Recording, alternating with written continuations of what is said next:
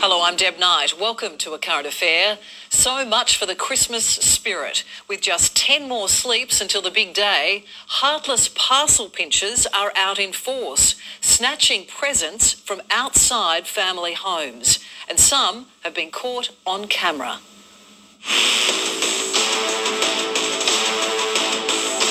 Christmas Grinches on the prowl. I think they just think they can get away with it.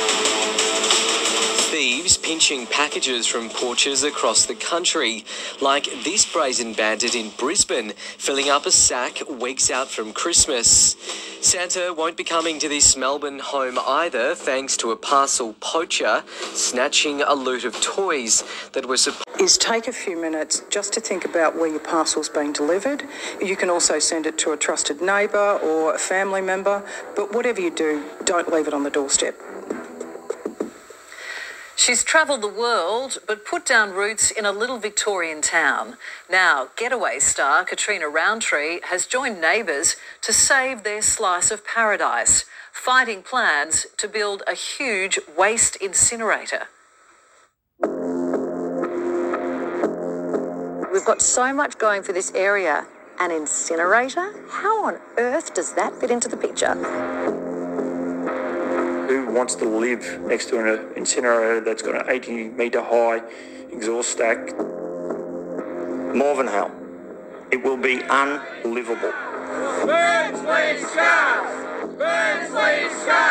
It is definitely one of those situations that you've got to shout loud to be heard. We just can't let something like this be passed on for future generations, let alone for us locals to have to endure.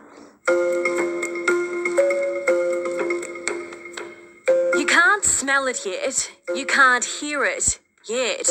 You can't even see it because it hasn't been built yet. We knew it was coming, but we never thought anyone would be foolish enough to approve it. But sure enough, we are here now. to stop it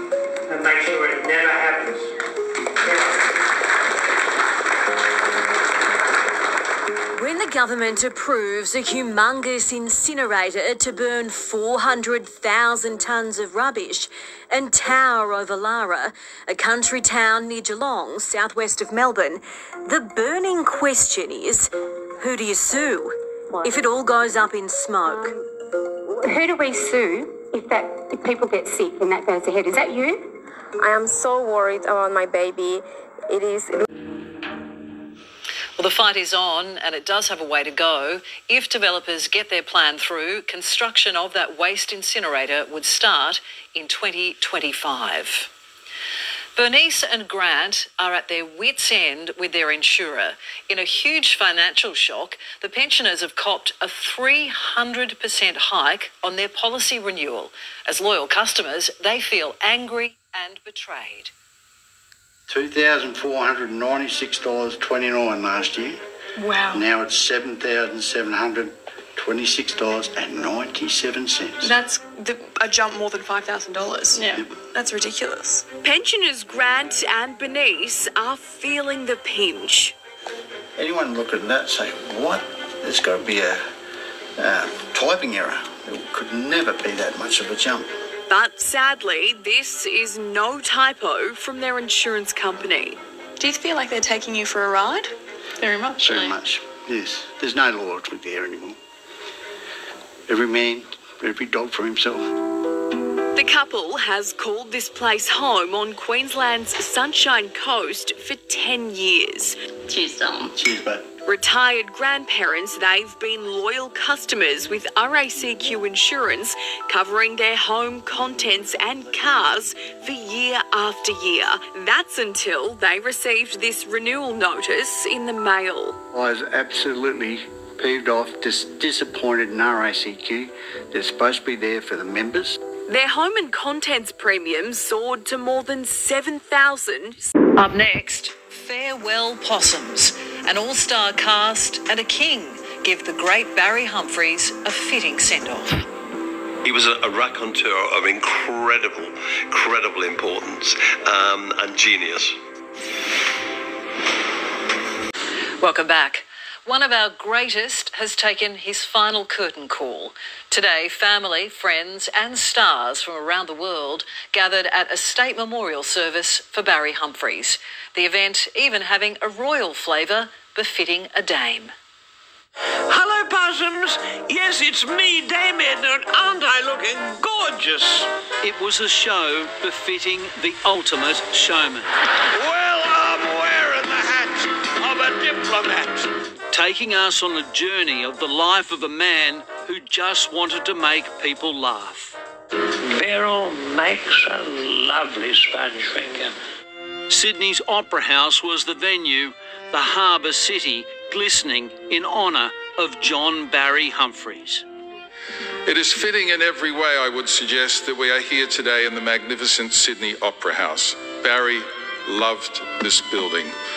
As an indication of the impact that Barry Humphries had on all our lives, or was that Dame Edna, Sir Les Patterson, or what about Sandy Stone?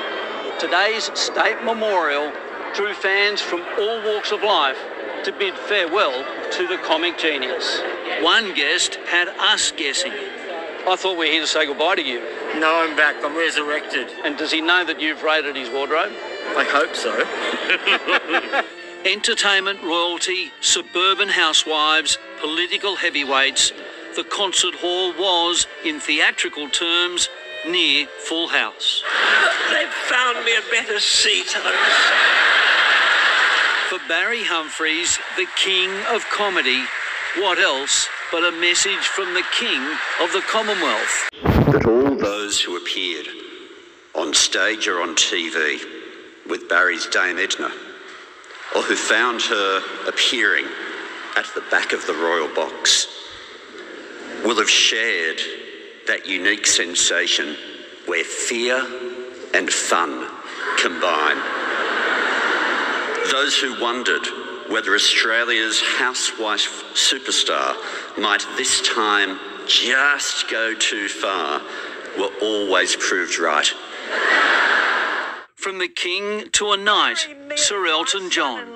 Barry Humphries was one of the funniest people in the world, but you all know that. But he's also one of the kindest and most generous person to me. Surrounded by chrysanthemums and, of course, Dame Edna's favourite gladioli. Nod of approval.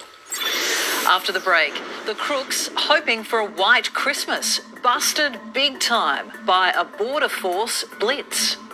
The recipient of that Christmas card certainly not getting a very Merry Christmas.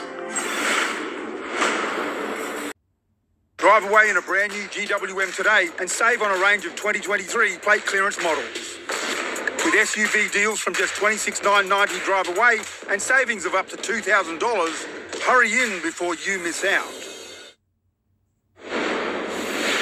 Next week, Christmas nasties in the mail. Cocaine in your Christmas card. They've made out of foil to try and trick the x-rays. Inside Border Force's Chrissy Blitz. You're not getting past us. Kids' toys, baby food, pillows, even thongs. You won't believe what some people thought they were getting for Christmas. That report on Monday. And that's our program. I'm Deb Knight. Thanks for your company. From the team, enjoy your evening. Good night.